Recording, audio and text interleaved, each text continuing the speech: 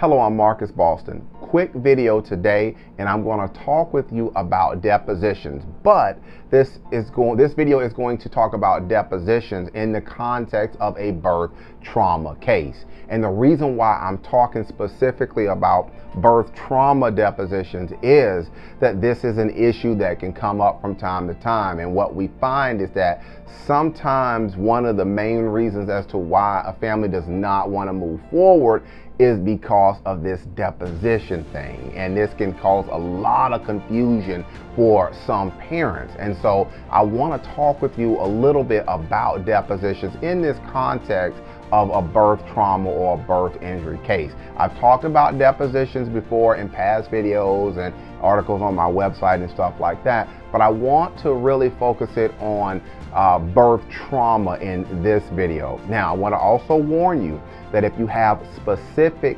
questions about the facts and circumstances of your case, that you should talk with your attorney about those specific questions, uh, strategy and things like that, specific factual issues.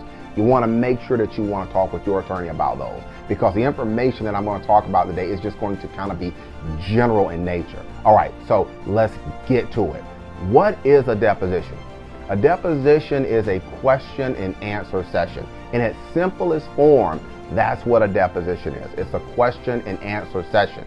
And when you get to your deposition, there's going to be people that are going to be there. And so some of the players, like I like to say, some of the players in your deposition may be a court reporter. And that court reporter is going to be, they're charged with taking down everything that is said in the deposition. They're typing everything. So when a question comes at you, that court reporter is going to type the question.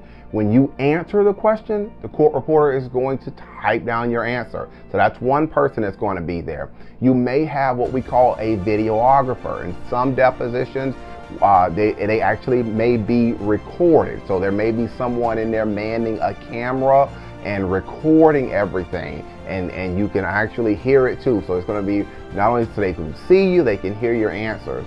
Now if, if a videographer is going to be there you'll probably know that beforehand. Your attorney will probably tell you that look we're going to be recording this so you need to dress appropriately if there's going to be a videographer there. So you can talk with your attorney about that. So you've got the court reporter you've got the videographer. You're going to be there course, you'll be there, you'll be given the deposition, and your attorney will be there. The people who you're suing, if they if the parties are not there, their attorneys will be there. And so when you're at this deposition, remember I said this is a question and answer session. So when you sit down and, and, and you get started with everything, they're gonna swear you they're gonna swear you in. And then the other side, they're gonna ask you questions and you answer those questions to the best of your ability. Now, I've talked about in the past where people can run into some problems, and I'm going to quickly jump into that right now. Remember, when you're giving your deposition and you are a parent, in most cases, I can't speak for every single situation, but in most cases, what you're going to be is what we call a fact witness. So you're going to be there to explain some of the facts in the case. That's what you're there for. It's not going to be your job in a lot of instances to talk about the, the, the nitty gritty with the medicine and the big medical terms and all of that. More than likely, you've got medical experts that are going to handle that aspect of, of the case. So you are there to answer a lot of factual questions. How was your pregnancy? How was labor and delivery? Did you have any issues beforehand? Who was in the delivery room at the time? Did you speak to any of the doctors or the nurses?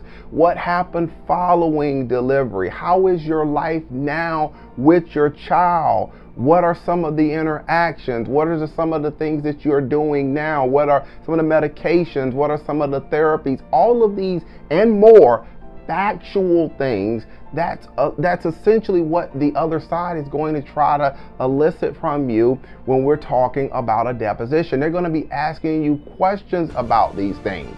And what you want to do, like I said, is you want to answer these questions truthfully, all right? So if you're if you're you're worried about your deposition, remember your attorney is going to prepare you and is going to talk with you just like I'm talking to you right now about the issues that are going to be present. And that's how you have an opportunity to get a good idea as to what maybe some of the questions. You can practice the questions with your attorney and, and you can get a feel for what may be asked of you during that deposition. Now, before I leave this video, I want to make sure that you understand. Remember, I said earlier that they are writing down everything. They're typing it down, I guess I should say, I'm sorry. They're, they're typing everything down, what you're saying, or they could be recording what you're saying. You don't want to get in your deposition and start making stuff up. You don't want to do that. Remember, you control the deposition. You are the witness in that deposition. So you you're the one who you you pretty much run things. And when a, when an attorney is asking you questions, you answer that question truthfully. You listen to the question and you answer that question. Don't try to anticipate, well, why is the attorney asking me how many people were in the labor and delivery room? Or why is the, the, the attorney asking me what is my name? Why is the attorney asking me where I work? Don't worry about that. Don't try to anticipate the questions. Listen to the questions and answer the question truthfully. If you don't understand the question, it's okay to say, uh, I don't understand. Can you rephrase that question? I, I didn't understand it. You don't want to get in your deposition and start just making stuff up. So the purpose of this video is to help calm you down a little bit if you are having to do a deposition or if this is something that is hindering you from moving forward in a birth trauma case. Remember, your attorney is going to work with you about, I'm sorry, work with you on your deposition. You will be prepared for your deposition. You will have a good understanding of what are the issues are going to be, what are maybe some of the questions that they're going to ask you, and this will go a long ways in helping you be able to get through this process. It's a foreign process, it's a different process, but it is definitely something that you can do. And like I said earlier, if you have specific questions about your upcoming deposition in a birth trauma case, remember, just talk with your attorney beforehand and, and things will, you know, will progress like they're supposed to. If you have more questions about what's going on, maybe you're watching this video because your child has suffered an injury at birth and you've got questions, you're at that point, you're like, you know, I think this may be something that we want to do, but you know, I may have to give testimony or I may have to talk with these lawyers and I'm not really sure about that. The purpose of this video is to try to you know, pull back some of the mystery, peel this thing back and let you see that this is just a step in the process and that you will be prepared to to meet that process.